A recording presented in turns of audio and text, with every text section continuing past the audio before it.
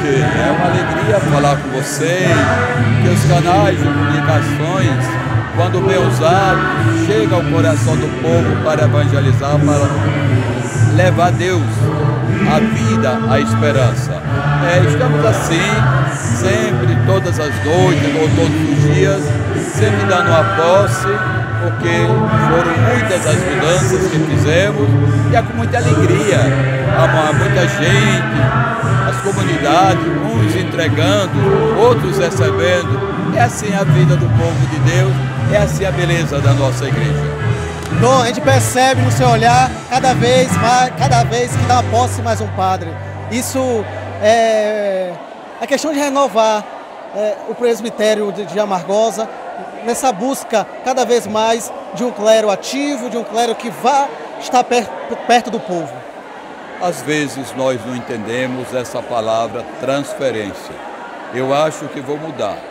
Eu não vou transferir mais ninguém, eu vou apenas enviar somente enviar. Aí você vai perguntar por quê? Que às vezes é natural, é comum. O padre se apega à comunidade, a comunidade se apega ao padre.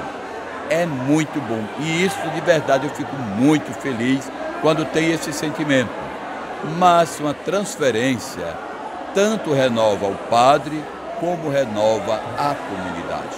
O padre chega na outra comunidade, chega entusiasmado, com ideias novas. E às vezes até aquela ideia que ele tinha na outra comunidade passa a ser nova para essa comunidade. Então é uma forma da gente despertar o nosso espírito missionário, a nossa ação evangelizadora. E por isso tenho feito com muita segurança as nossas mudanças. E tenho dito em todos os momentos, quando um padre assume uma paróquia, no meu governo ele só terá uma certeza. Daqui a pouco, no máximo, no máximo seis anos, serei transferido novamente. Porque nós precisamos de uma igreja em saída e nós somos essa igreja em missão. Uma igreja sinodal, uma igreja comprometida, sobretudo, o menos favorecido, o mais pobre, com aquele que está esquecido. Queremos buscar a nossa juventude Queremos edificar a família na luz da verdade e na força do Espírito Santo. Queremos uma sociedade mais fraterna e mais justa. Dom, a gente percebe também não só transferências, mas também algumas nomeações que o senhor tem feito durante o seu governo, desde quando chegou à Diocese de Amargosa. O senhor tinha dito aqui no final da celebração que na, nessa quarta-feira fez um decreto com algumas nomeações. Fale para nós é, e também até o nosso pároco, São Felipe, Padre Marco, também foi nomeado para a é, direção, diretor espiritual de, do Seminário Maior em Salvador. Fale também essa experiência, essa, esse seu, seu governo já como bispo nossa diocese. Olha, eu quero dizer ainda para os meus diocesanos, estou chegando. Mas estou chegando como quem sempre teve fome de evangelizar. Eu amo a minha igreja, porque nela eu amo a Jesus Cristo. E tenho nomeado, nomeei agora os seis vigários forâneo, nomeei coordenador de pastoral, diretor espiritual do seminário maior, diretor do seminário menor. Tenho feito realmente assim, não mudanças por mudar, mas coisas que são necessárias para o governo da Diocese. Lembre que ainda não completei seis meses, mas fui dando aquilo que eu pude fazer. Claro que verão novas nomeações, entre elas a nomeação do vigário geral, sem a menor dúvida.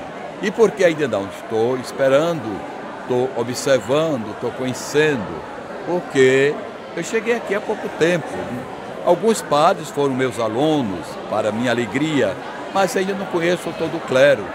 E com isso a gente está indo assim, eu não diria devagar, estamos indo conforme o toque de Deus. Conforme Deus nos manda, a gente está agindo. E graças a Deus, a minha fragilidade, na minha pequenez, eu sou muito assim determinado pela força que o Espírito Santo de Deus me concede. Muito bem, obrigado, Dom. Dia 10 de março, esperamos o senhor lá em São Felipe. Na primeira sua visita como bispo, o senhor já teve em São Felipe há um tempo atrás, é, acolhido pelas irmãs e o novenário, e agora irá a São Felipe como pastor dessa diocese. Com muita alegria, dia 10 à tarde, estarei naquela cidade maravilhosa e espero encontrar o meu povo. Ontem, lá em Santa Rita, umas senhoras, muitas, ah, eu ainda não tinha falado com o meu bispo. E eu acho tão bonito quando eles dizem assim, meu bispo, realmente eu quero ser do povo. Meu pedido tem sido constante. Quero meus padres no meio do povo. Quero meus padres nas procissões, na via sacra, nas feiras, é, aonde o povo possa estar, para que a gente possa ser essa presença de Deus, essa presença da igreja no coração do nosso rebanho. E deixo aqui para todos vocês, os internautas, a nossa bênção de amigo de pastor.